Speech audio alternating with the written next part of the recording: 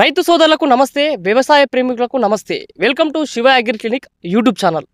మరి మన రెండు తెలుగు రాష్ట్రాల్లో సాగవుతున్నటువంటి కూరగాయల పంటల్లో అతి ముఖ్యమైనటువంటి పంట ఏదైనా ఉందా అంటే అది టమాటా అని చెప్పుకోవచ్చు. మరి టమాటాని సంవత్సరం పొడవునా సాగు చేసినటువంటి రైతులకు ఏ సమయంలో వేస్తే మంచి డిమాండ్ మంచి మార్కెట్ ధర ఉంటుందో తెలియక సతమతం అవుతున్నారు. మరి కొన్ని ప్రాంతాల్లో చూసుకున్నట్టయితే టమాటాని సాగు చేసి సరైనటువంటి మార్కెట్ రేట్ లేక ఈ పొలంలోనే దున్నేటువంటి క్రమాలు కూడా చాలా వరకు మనం గమనించాం. కానీ ఈరోజు ఈ వీడియోలో మనము ఈ రైతు మాత్రము సాగు చేస్తున్న టమాటా చూసుకున్నట్లయితే నిజంగా ఒక టమాటా కాదు ఇది ఒక యాపిల్ పండులాగా కనిపిస్తుంది. దాదాపుగా ఒక్కొక్క పండు చూసుకున్నట్లయితే యాపిల్కి ఉన్నటువంటి ఆకారంగా ఉండి ఆకర్షణ రంగుతో ఒక చిన్న మచ్చ స్పాట్ కూడా లేకుండా దీన్ని మార్కెట్లో కాకుండా ఈ సూపర్ మార్కెట్లో అందించే విధంగా ఈ టమాటాలను రైతు స్థాయిలో తనకున్నటువంటి వ్యవసాయ పొలంలో సాగు చేసినటువంటి రైతు మనతో పాటు ఉన్నాడు. మరి ఇంత క్వాలిటీ టమాటాలు ఏ విధంగా సాగు చేస్తున్నాడు? మరి ఇంత ప్రత్యేకతమైనటువంటి ఆచరణతోటి రైతు ఈ వ్యవసాయంలోకి వచ్చి ఈ టమాటాను ఇంత మంచిగా సాగు చేయడానికి అసలు గల కారణాలు ఏమిటి? ఎటువంటి నూతన పద్ధతులను అవలంబిస్తున్నాడు?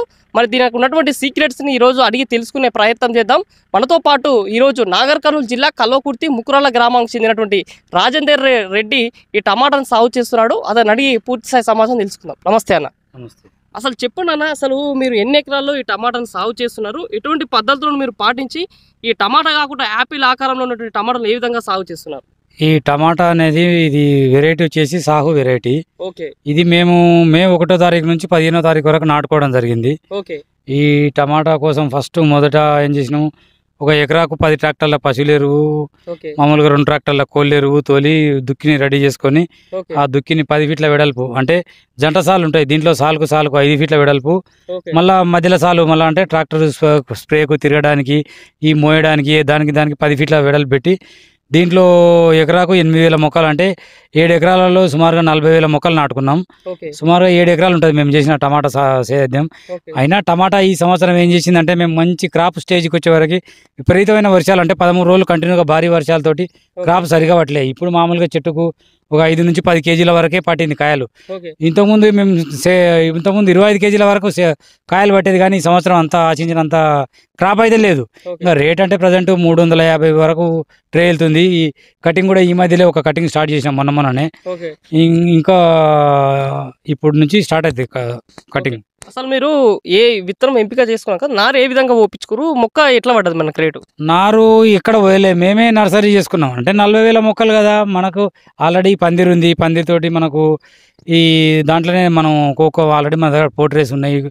కోకో పిట్టి తెప్పించి మేమే నారు పోసుకున్నాం. రేట్ ఎట్లా పడ్డది మనకి? మాకు పోసుకుంటే సుమారుగా అరవై పైసల దాకా పడింది ఒక మొక్కకు. అంటే మీకు సీడ్ కాస్ట్ సీడ్ కాస్ట్ ఎక్కువ? సీడ్ కాస్ట్ ఇది ఎనిమిది వందల నలభై రూపాయలు ఒక టెన్ గ్రామ్స్ ప్యాకెట్. అంటే. ఎకరాకి ఎన్ని గ్రామ్స్ సరిపోతుంది? ఎన్ని ప్యాకెట్లు. ఎకరాకు ఎనిమిది వేల మొక్కలు. అంటే ఒక ఒక పది గ్రాముల ప్యాకెట్ల? మూడు మూడు వేల మొక్కలు మూడు వేల గింజలు ఉంటాయి మనకు మూడు ప్యాకెట్లు అయితే ఎకరాకు సరిపోతుంది. మనకు ఇప్పుడు ముప్పై ప్యాకెట్లు వేసుకున్నాం. అంటే. కొంచెం జర్మినేషన్ ప్రాబ్లమ్ అవును. నా అన్ని దాంతో పాటు మనం ముప్పై ప్యాకెట్లు సీడ్ వేసుకున్నాం.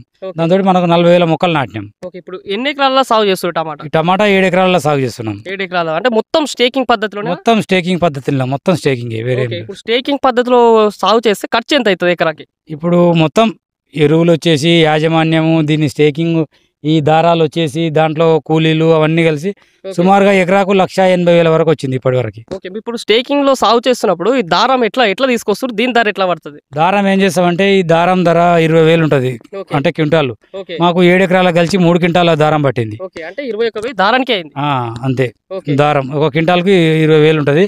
మనకు మూడు క్వింటాలు పట్టింది. ఈ దారం వచ్చేసి ఇది ఎంత వర్షాలు పడ్డా తెగిపోదు. ఈ దారం నైలాన్ దారం అది ఒకటే కాకుండా దీంట్లో సెకండ్ క్రాప్ కూడా వేసుకునే ఛాన్స్ ఉంటుంది. అంటే ఈ దారం నైలాన్ దారం కదా. టమాటో మామూలుగా సుమారు ఆరు నెలల లోపల చనిపోతుంది. చనిపోయిన తర్వాత అదే మల్చింగ్లో కాకరనో బీరనో ఏదో ఒక ఇత్తనం వేసుకుంటే ఈ దీన్ని ఆసరా చేసుకొని స్టేకింగ్ అయ్యి కాకర కాస్తుంది. దానికి రెండో క్రాప్ కూడా తీసుకోవచ్చు. కాకపోతే టమాటా స్టార్టింగ్లోనే పెట్టుబడి ఎక్కువ. రెండో క్రాప్కు పెట్టుబడి రాదు. రెండో క్రాప్కు ఎకరాకు ఐదు వేలు పదివేలు పెట్టుబడి వస్తుంది. ఇతనం ఖర్చే వస్తుంది రెండో క్రాప్లో. మీరు ఇప్పుడు స్టేకింగ్ చేశారు కదా టమాటాకి. టమాటా మీరు నారు పెట్టిన తర్వాత ఎన్ని రోజుల తర్వాత స్టేకింగ్ చేయాల్సిన అవసరం ఉంటుంది? టమాటా నారు నారు వేయడానికి ఇరవై ఐదు రోజులు నారు టమాటా వేస్తాం. నారు వేసిన తర్వాత ఇంకో ఇరవై ఐదు రోజులకు ఫస్ట్ దారం ఒక వరుస దారం కడతాం. మళ్ళీ ఒక పది రోజుల తర్వాత రెండో వరుస కడతాం. ఇప్పుడు మళ్ళీ ఒక పదహైదు రోజుల తర్వాత మూడో వరుస కడతాం. లాస్ట్ మూడు వరుసలు కడతాం. మూడు వరుసలు కట్టే వరకు చెట్టుకు బలిష్టమైన చెట్టుకు నలభై దారాలు వస్తాయి. మామూలు చెట్టుకు పది దారాలు వస్తాయి ఒక చెట్టుకు. అంటే ఒక చెట్టుకి అందాక ఎన్ని దారాలు కట్టాలి? పది నుంచి నలభై దారాల వరకు వస్తాయి. దాన్ని చెట్టు క్వాలిటీని బట్టి చెట్టు ఎదుగుదలను బట్టి పది నుంచి నలభై దారాలు వస్తాయి ఒక చెట్టుకు. నలభై దారాలు వచ్చే అవకాశం ఉంటుంది. మనకి ఖాతా ఏ టైంలో స్టార్ట్ అయ్యే అవకాశం ఉంటుంది? నాటిన ఇరవై రోజుల తర్వాత. నాటిన తర్వాత మనకు వంద రోజులకు కటింగ్ స్టార్ట్ అవుతుంది వంద రోజుల కటింగ్ అయ్యి? రోజుల తర్వాత స్టార్ట్ అవుతుంది కటింగ్ ఓకే.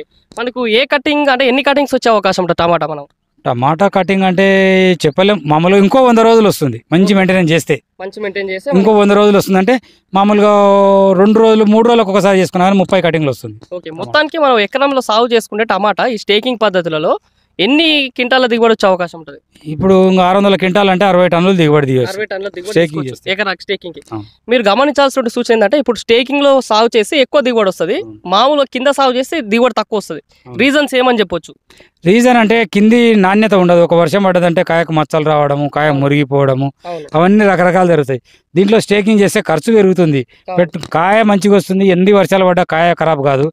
గాలివాటం బాగుంటుంది. దీంట్లో కాయ నాణ్యత ఉంటుంది. ఈ స్టేకింగ్ ఎట్లుంటుంది అంటే కాయ ఒక మామూలుగా ఒక ఒక మామూలు ఒక మచ్చ కూడా రాదు దీంట్లో. ఈ టమాటా స్టేకింగ్కు కింది దానికి కింది ఒక ఒక వర్షం పడిందంటే తుడిచిపెట్టుకోపోతుంది. వర్షాకాలానికి కింది వేయడం అంత కరెక్ట్ కానే కాదు. అంటారు.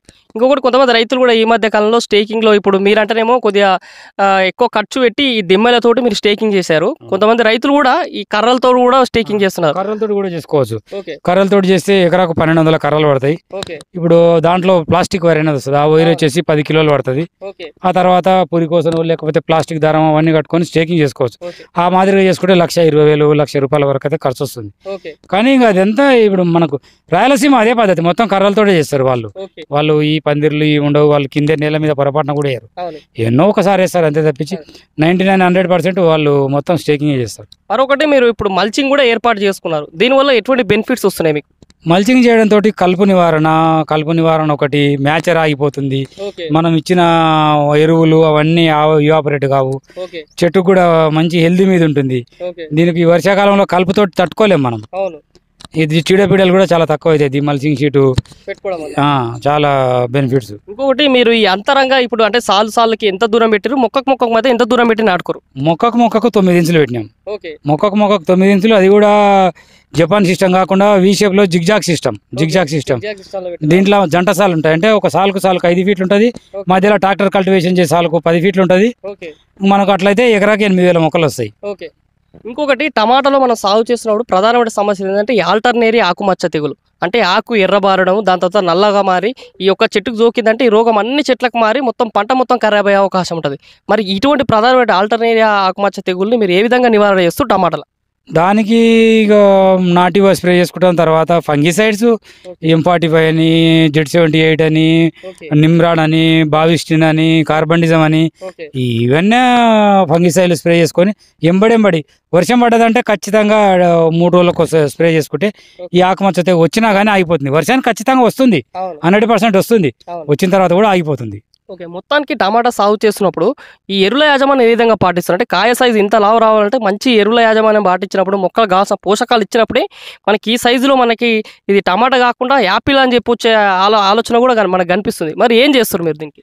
దీనికి మేము ఎరువుల యాజమాన్యం అంటే ఏ డ్రిప్ ఫర్టిగేషన్ చెయ్యం. ఓకే. స్టార్టింగ్లోనే. పశువుల ఎరువు వేస్తాం. పశువుల ఎరువుతో పాటు కోళ్ళ ఎరువు వేస్తాం. దాంతోపాటు కానుగ చెక్క వేస్తాం ఆమ్దం చెక్క వేస్తాం ఓకే. ఓ నీమ్ నీమ్ కేక్ వేస్తాం. మూడు మూడు వేస్తాం. సుమారుగా ఒక టన్ను టన్ను వేస్తాం. కానుగ చెక్క టన్ వేస్తాం.